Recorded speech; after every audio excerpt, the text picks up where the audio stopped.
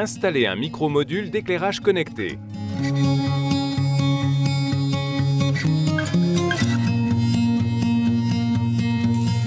Avec un micro-module d'éclairage connecté, on peut commander la lumière de plusieurs endroits grâce aux commandes sans fil.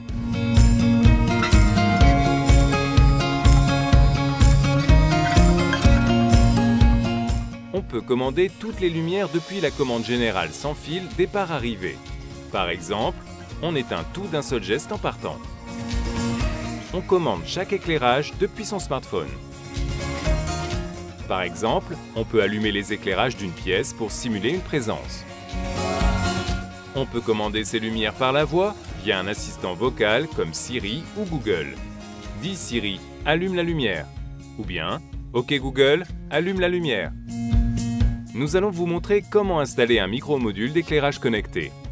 Le micro-module d'éclairage connecté nécessite l'installation préalable du pack de démarrage pour commander ses éclairages en local ou à distance via l'app Home Plus Control.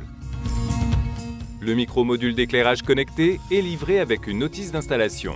Pour installer ce micro-module connecté, vous avez besoin d'une boîte point de centre ou applique équipée DCL et de fils électriques 1,5 mm. Par sécurité, pour garantir une installation optimale, il est impératif de couper le courant au disjoncteur général. Le micro-module connecté s'encastre dans une boîte point de centre ou applique équipée DCL. Il commande tout type d'ampoule de 5 à 300 watts, dont les LED. Raccordez les fils sur les bornes. Le fil de neutre. Le fil de phase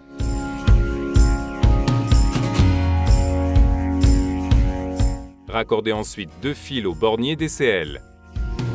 Un fil de neutre, un fil de phase coupé. Pensez à raccorder le fil de terre sur la DCL.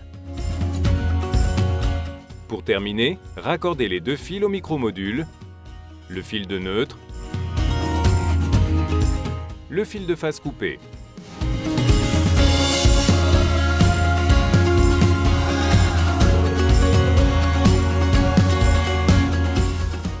Fois que vous avez terminé l'installation avec les autres produits filaires connectés, rétablissez le courant.